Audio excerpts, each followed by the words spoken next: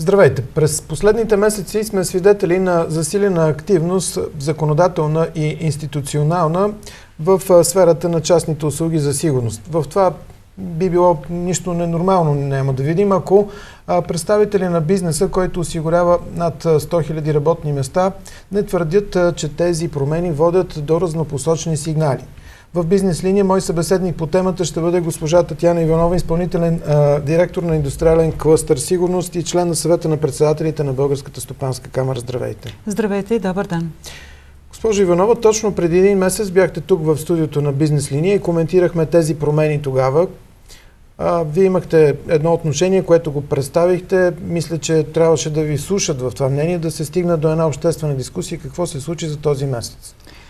За този месец се случиха доста събития. Освен промените в въпросния закон за частна охранителна дейност и появата на законопроект, чисто нов, за частната охранителна дейност, се появиха още предложения за промени в законодателството, които доведоха до тотално така, получаване на сигнали в сектора за напрежение. Визирам промените, които излязоха на преден план от една страна в а, закона за МВР в частта му създаване на държавно предприятие. От друга страна напоследъка промени в закона за опазване на селскостопанското имущество, където се създават, например, дава право на кметовете на общини да организират доброволна или платена полска охрана и специализирани охранителни фирми. Тук веднага хората ще кажат какво лошо е един кмет, който си познава селото, да найма няколко хора от населеното място и да ми кажат пазете селскостопанската продукция. Значи, когато се извършва частна охранителна дейност, има изисквания. Не може към компаниите от сектора да има определени изисквания по една папка документи да се представят и лиценз и контрол, а към а, други лица това е незаконосъобразно. Тоест, една, както казвате вие, нелоялна търговска практика. Абсолютно. бяха предложени и промени в закона за движение по пътищата. Специално за а, персоналната охрана, за така наречените а, ескорти. А, промениха се а, наредбата за организация и контрол по обезпечаване на сигурността в банките и финансовите институции. Но никой не потърси сектора за мнение и експертиза. Ние дадохме нашите предложения, те са качени на сайта за обществена консултация. Оттам нататък обаче абсолютно никаква реакция, напротив, нарастват а, а, предложенията за промени. Впоследствие, паралелно с законопроекта за частна охранителна дейност, в Народното събрание група народни представители внесоха промени в сега действащия закон. Как си обяснявате това, тази активност и не потърсени от вас диалог, защото все пак вие ще изпълнявате тези промени, не някой друг? На практика сме объркани. А, ако погледнем европейските практики, как работят в Европа, а, там частните охранителни фирми и частните услуги за сигурност са естествен партньор. За справка, днес в новинарския поток може да погледнете в една Франция кой ще охранява световното. Европейското първенство. Е, европейското, извинете. Да. А, значи, то ще бъде охранявано както от полицай, така и от над 13 000 частни охранители. В една Англия проекта Грифин. Това е проект, който частните охранители си партнират с полицията при опазване на обществения ред и е, по сигурността. Ние сме естествен партньор на МВР. Нямаме логично обяснение защо те не търсят партньорство, защо те не търсят комуникация, защо не искат да възстановят диалога с сектора. Най-малкото. А това, което вие казвате, че се създава държавно предприятие в а, сферата на МВР, до преди няколко години имаше такъв, така наречените сотаджи, популярното название да, на всички участни. Да, свойствените дейности да. на МВР, така Те наречени. бяха закрити. Защо отново трябва да се открива подобно държавно предприятие, което да събира и акумулира средства? Ами, това, което прочетох в стенограмата от а, а, публичното обсъждане пред Комисията по вътрешна сигурност и обществен ред, госпожа Бачварова при представянето на специално на държавното предприятие казва, че то ще бъде отпред държавното предприятие. Там ще ли да бъдат назначавани хора, които са административни на трудово-правно отношение и зад това държавно предприятие ще, щяло да има още две предприятия. В едното ще ли да се назначават лица на трудово-правни отношения, пенсионери от МВР,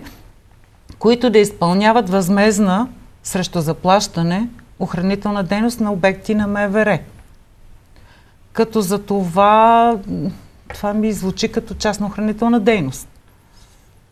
Така, по всичко личи, ще се върнат тези дейности, които са насвойствени. Аз поне, вие ми кажете, знаете ли за такива примери в Европейския съюз МВР да има собствено предприятие някъде в тези държави? на континент? Преди години, когато ставаше въпрос за, по отношение на нелоялната конкуренция от полицейския сод, ние отправихме едно запитване към КЗК и КЗК направи такова проучване на ниво Европейски а, съюз. Оказва се, че в нито една държава от Европа няма такива функции на МВР. Това са несвойствени дейности и търговска дейност на МВР.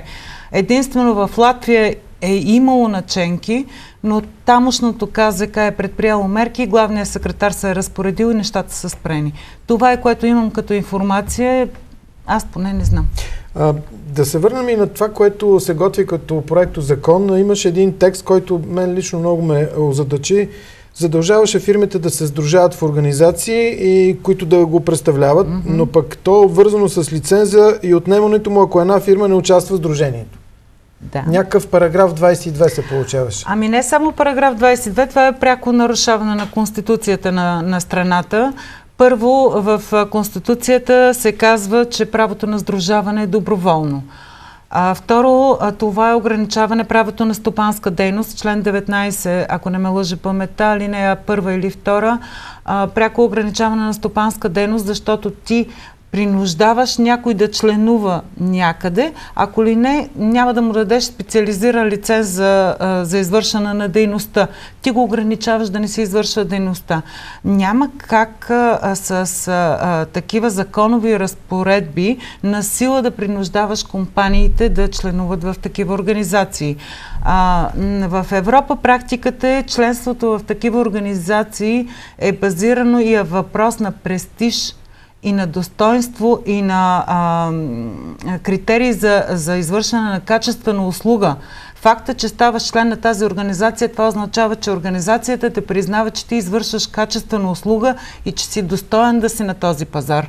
Не е на задължение.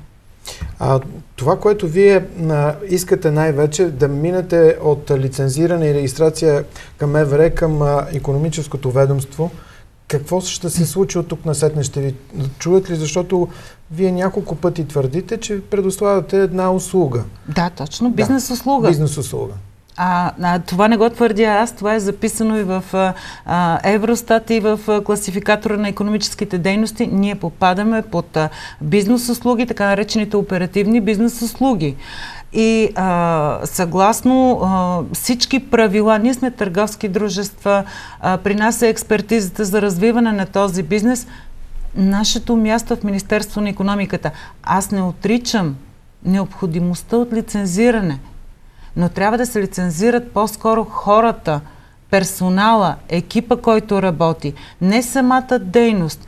И тук в законопроектите е заложено, например, че МВР ще ми пише наредба как, по какви критерии да се извършва услугата или какво трябва да има компанията.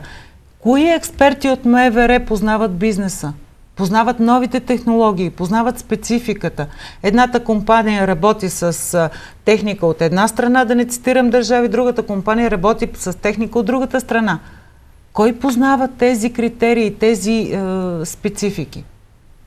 Може би трябва да се постави още един също така важен въпрос. Това, което казвате, действително е така. Едва ли някой може да се наеме да казва, аз познавам цялата дейност на един сектор и цялата технологична а, мощ в него. А това е бизнес услуга сега. Да. МВР си има достатъчно проблеми, ми се струва. А, това точно исках на там да насочим разговора предвид тази доста сложна ситуация, която се създаде през последните години, свързана с международния тероризъм, беженската вълна трябва може да потърсите и пък МВР също да потърси път към вас за една съвместна дейност, защото хората се надяват на една по-сигурна среда наоколо.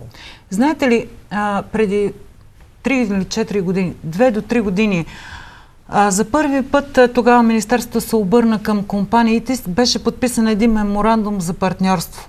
Нещо, което беше рядко срещано, но факт, че се подписа, меморандума изтече преди 6 месеца. А, на базата на този меморандум можеха да се направят много неща, като партньорство. Ние можем да сме си партньори, защото ние сме от едната страна на барикадите. Просто смисъл, че е, и двете структури, е, ние на територията на обекта, МВР на територията, на по-голяма територия в страната, но имаме почти еднакви проблеми. И ми е странно защо Добре, не искат да ни чуят нас. Нека да видят европейските практики. Добре. Благодаря ви, госпожо Иванова, за този разговор. Ще следим какво ще се случи в сектора и тези проблеми, които вие току-що изложихте, дали ще бъдат разрешени. Така завършва бизнес линия днес. Благодаря ви, че бяхте с нас и този път.